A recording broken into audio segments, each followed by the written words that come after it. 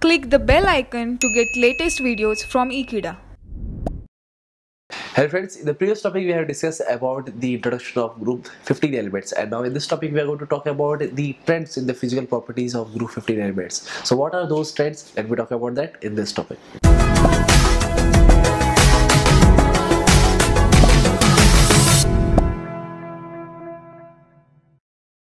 So friends, now in this topic we are going to talk about the trends in the physical properties of group 15 elements. So those points that we are going to talk about is atomic radius, ionization enthalpy, electronegativity, metallic and non-metallic character. Okay, but the next one that is physical appearance and density and that is melting point and boiling point. So this all points that is what we are going to cover in this topic. So starting with the first one that is atomic radius. So friends, if we compare the group 15 elements with group 14 elements, so for that let me give you a small introduction here. So friends, as we know that is as we move across a period, then obviously the atomic number goes on decreasing. So that's the reason that this atomic size of boron it will be comparatively larger compared to that of this carbon and compared to that of this nitrogen. So this relates that this nitrogen will have an atomic size which is lesser than that of the carbon.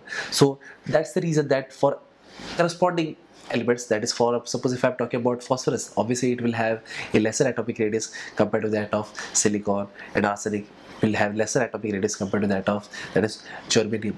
So this is what i'm going to talk about and we are going to compare it with group 14 elements as well as group 15 elements. So now let us understand this comparison also and also we are going to talk about the trends that have been belonging to the group 15 elements. So starting with the atomic radius we have. So we have understood that is if we move along the group or down the group that is from nitrogen to bismuth so it has been found that is the atomic size it will go on increasing because of the various factors. For example because of the nuclear charge because of the increase in the valence shell because of increase of the principal shell. So that is the reason that the atomic size goes on increasing. So it has been found that is the nitrogen will have a smaller size compared to that of the every element that are belonging to the group 15 and that's the reason that uh, the nitrogen and the phosphorus they have basically a larger difference if we compare in the form of a that is covalent radius. But if we compare about arsenic and bismuth the difference between the covalent radius is not that much very large. And that's the reason that the atomic radius actually it goes on increasing down the group so that was related to the atomic radius. And now let me talk about the ionization enthalpy we understand that is ionization enthalpy is nothing but the energy required to remove the outermost or remove the loosely bonded electrons for an atom. So in this case, basically, if you talk about nitrogen and if you talk about bismuth, so as we move down the group, we'll understand that is because nitrogen is a very smaller element compared to that of the other elements, and bismuth is obviously it is having a more atomic radius. So therefore, to remove the electrons or to remove the loosely bonded electron of nitrogen, it requires a higher energy, and that's the reason that the ionization enthalpy of nitrogen is more compared to that of bismuth because bismuth obviously it is having a larger size and that's the reason that uh, the last electron or the electron which is very much loosely bonded with that of the nucleus of the bismuth obviously it is very much less and that's the reason to remove that electron is very much easier and that requires very less energy. So this is nothing but it was related to the ionization enthalpy of uh, that is uh, the group 15 elements. And talking about the ionization enthalpy we understand that is the ionization enthalpy the first ionization enthalpy the second as well as the third ionization enthalpy. It increases as if we remove the electron from the outermost shell. But if we compare it for the nitrogen to remove all the three electrons from its p orbital it is very much difficult and that is the reason that the nitrogen is the one which will have highest ionization enthalpy. So that was related to the ionization enthalpy and now let me talk about electronegativity.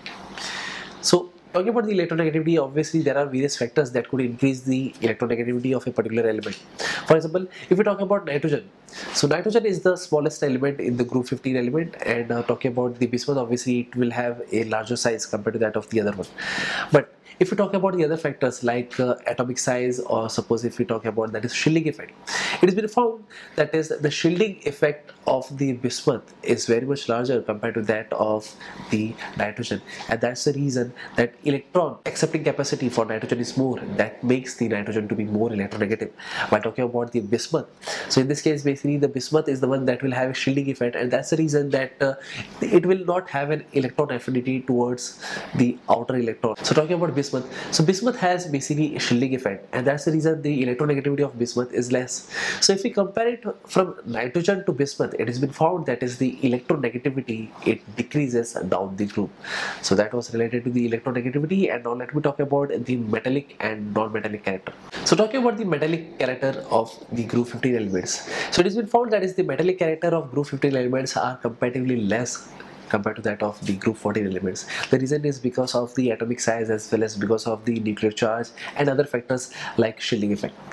So if we talk about the nitrogen, it has been found that is the nitrogen is a non-metal and that's the reason it has no metallic character so that's the reason it is considered to be non-metallic but if we compare it with bismuth so bismuth is the element that has been present at the last of the group 15 element and obviously it will have a larger atomic size and obviously we understand that is it will have a shielding effect. So that's the reason to lose electron for the bismuth is very much and that's the reason bismuth has metallic character. While talking about the nitrogen obviously it is a form of a gaseous state so that's the reason it is the one which is having a non-metallic character.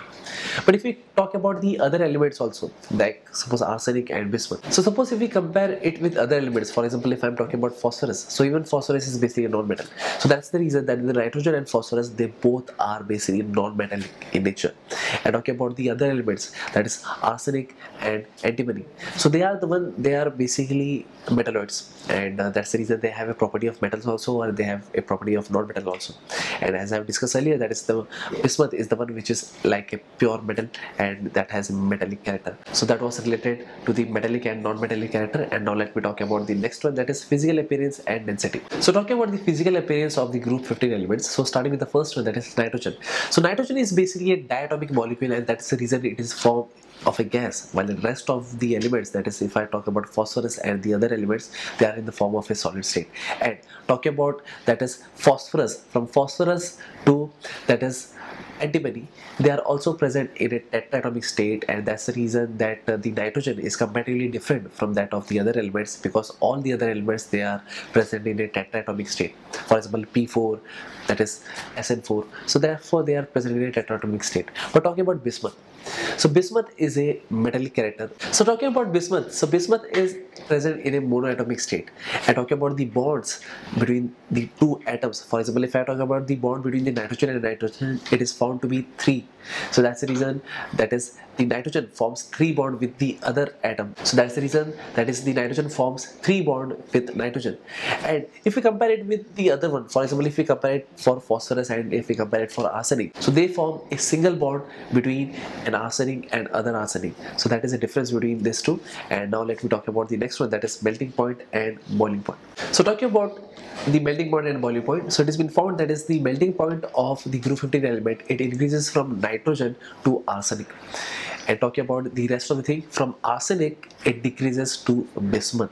So that was related to the melting point. And now let me talk about the boiling point. So the boiling point actually it increases that is from nitrogen to bismuth because bismuth is obviously it is a metallic character so obviously it will have a larger so obviously it will have a higher boiling point. So that was related to the melting point and boiling point. But now let me elaborate a, another property that is conductivity.